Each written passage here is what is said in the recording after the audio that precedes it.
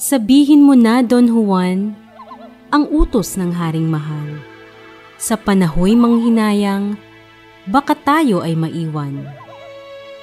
Ang alaga ng ama mo na mailap na kabayo, bukas daw ay sanayingkot nang umamo raw ang Diablo. Pakli naman ng prinsesa, Ang kabayo'y dili iba, kundi ang aking ding ama. Sa pagsakay mag-ingat ka. Suwail itong kabayo, baka ikaw ay iba to. Ang marapat na gawin mo, paluin ng kanyang ulo. umaga na at tinupad ng prinsipe yaong atas. Ang kabayo'y inilabas, tinuruan ng paglakad.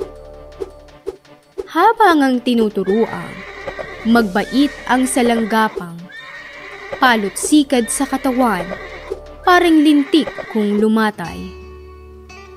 Ang kabayo ay nahapo, luhat laway tumutulo. Mga mata ay umamo, mabait na parang suso. Hari agad nang nagtindig sa kanyang pagkakahilig. Si Don Juan ay kinawit, humarap sa tatlong silid. Sa butas ang nakalitaw, mga hintuturo lamang upang hindi mahulaan sa tatlo ang mahihirang. Hintuturong nakasuot, pinigilang buong lugod. Mahal na hari, Ang luhog, narito ang aking iro. hari hindi nakahuma, dila ay parang napatta. Mahal pa naman sa kanya, ang ngayoy mawawalay na.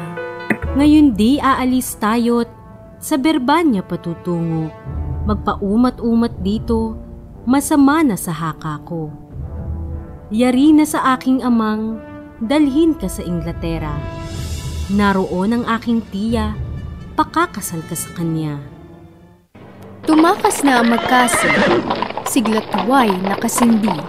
Sa takbong pinagbubuti, mapagitna, mapatabi. Ang hari ay malapit na't madarakip na nga sila. Ang ginawa ng prinsesa, pinairal ang mahika. Wala na siyang magawa, pati lakas ay nawala. Amang anak ang humiya, ang anak ay sinusumpa. At sakaling sumapit ka sa karyang Berbanya, malimot ng iyong sinta sa pagluhat pag-iisa. Itakwil ka at pabayaan, sa iba siya pakasal. Ito'y siyang kabayaran sa gawa mong kataksilan. Bayaan sa pagluluksa, ang kahariang may luha. Lahat tayo'y may tadhanang magbabalik din sa lupa. Matapos ang madlang dusat, layuan ang kanyang ama. Sumapit din sa berbanyang, sa sakunay ligtas sila. Ako ngayon ay haharap sa ama kong nililiyag upang kanyang matalastas ang sa atin ay marapat. Kaya giliw mayag ka nang dito'y iwan mo na kita. Pangako ko at umasang mamayari kapiling ka.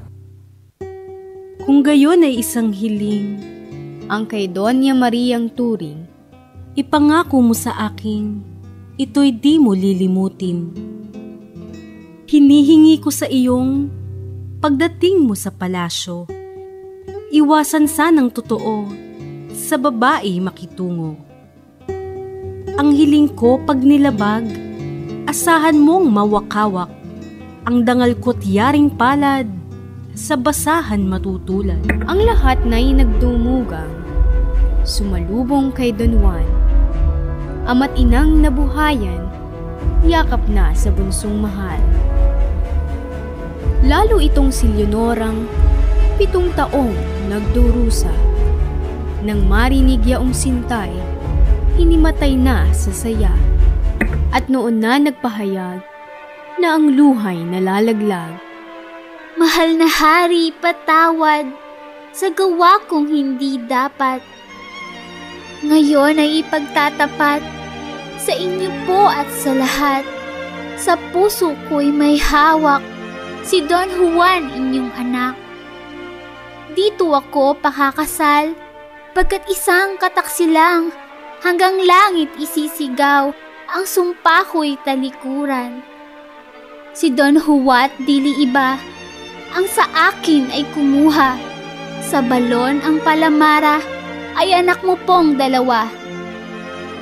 Hari sa kanyang narinig, matagal ding di umimik.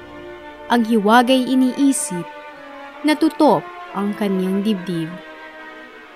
Pag-iisang dibdib ninyo'y gagawin sa linggong ito. Ganito ang pasya ko nang matapos na ang gulo. Natalos ni Doña Maria sa tulong ng dunong niya ang prinsipeng kanyang sinta nakalimot ng talaga. Ikakasal ay di iba't si Don Wat si Leonora. Ang higanti ay handa na gagawin ni Doña Maria. Pinigil muna ang kasal sa dadaloy alang-alang, ugali ng kamahalang, panauhi parangalan.